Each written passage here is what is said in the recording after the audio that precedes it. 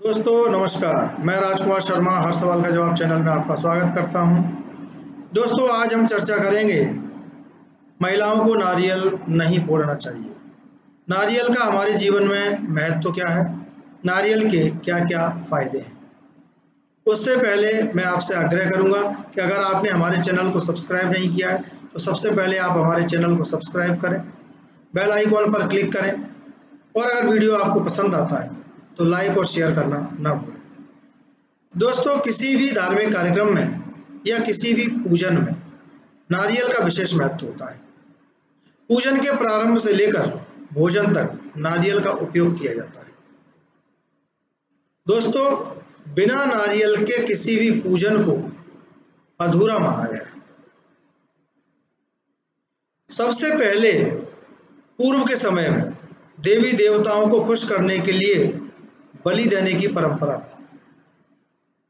जब इस पर कानूनी रोक लगी तो बलि देने की परंपरा को बंद किया गया और लोगों ने नारियल की बलि देना प्रारंभ किया।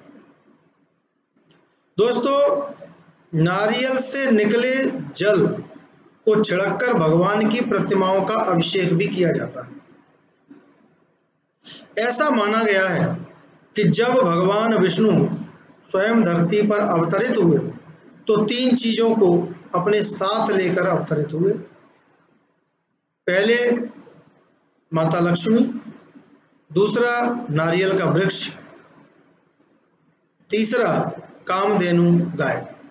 नारियल के वृक्ष को कल्प वृक्ष भी कहा जाता है और नारियल को श्रीफल भी कहा जाता है।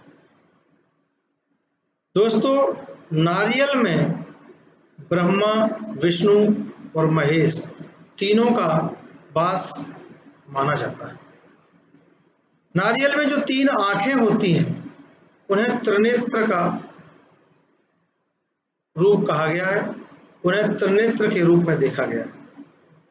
श्रीफल भगवान शिव को विशेष पसंद है।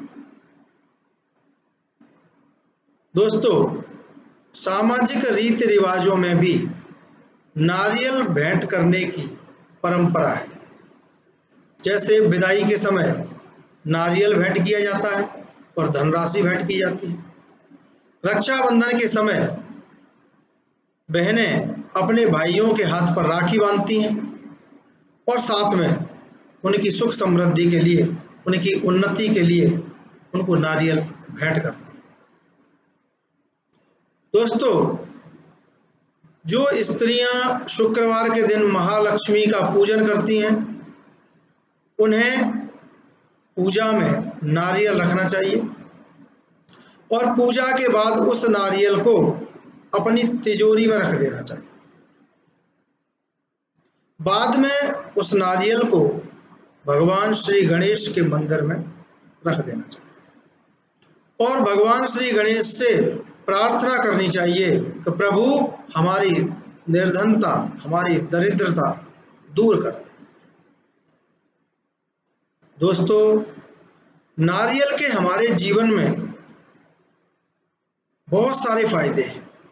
जैसे, नारियल से शारीरिक दुर्बलता दूर होती अगर किसी शिशु को डिहाइड्रेशन हो जाए तो नारियल पानी में नींबू मिला करके पिला दो डिहाइड्रेशन की समस्या खत्म हो जाएगी किसी शिशु को दूध नहीं पच रहा है, उस दूध में नारियल पानी को मिला करके बच्चे को सेवन कराएँ, दूध पचने लगे।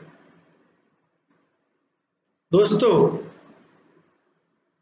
महिलाओं को नारियल क्यों नहीं फोड़ना चाहिए? इसके पीछे भी एक विशेष बात। चूँकि नारियल बीज रूप होता है, इसलिए इसको उत्पादन और प्रजनन का कारक माना गया है। महिलाएँ प्रजनन का कारक होती हैं। चूँकि महिलाएँ भी शिशु को बीज रूप से ही जन्म देती हैं। इसलिए महिलाओं को नारियल फोड़ने से वर्जित किया गया। दोस्तों, एक और बात है। चूँकि बलि देने की परंपरा को पूर्व में कानूनी रोक लगने की वजह से बंद कर दिया गया था, इसलिए लोगों ने नारियल की बलि देना प्रारंभ कर दिया था। तो नारियल को बलि का प्रतीक भी माना गया है। और चूँकि बलि देने का अधिकार सिर्फ़ पुरुषों को है, महिलाओं को नहीं। इसलिए एक कारण यह भी है कि महिलाओं को नारियल फोड़ने से मना किया गया। दोस्तों, मैं आपको एक छोटी सी बात और बता दूँ कि अगर किसी भी धार्मिक कार्यक्रम को शुरू करने से पहले या किसी भी पूजन को करने से पहले उसकी पूरी जानकारी आपके पास होनी चाहिए। यदि आपके पास उसकी पूर्ण जानकारी नहीं है और आप पूजन में जो चीज़ें वर्जित की गई हैं, अगर उनका उपयोग करते हैं तो उसके नुकसान भी उठाने पड़ सकते हैं।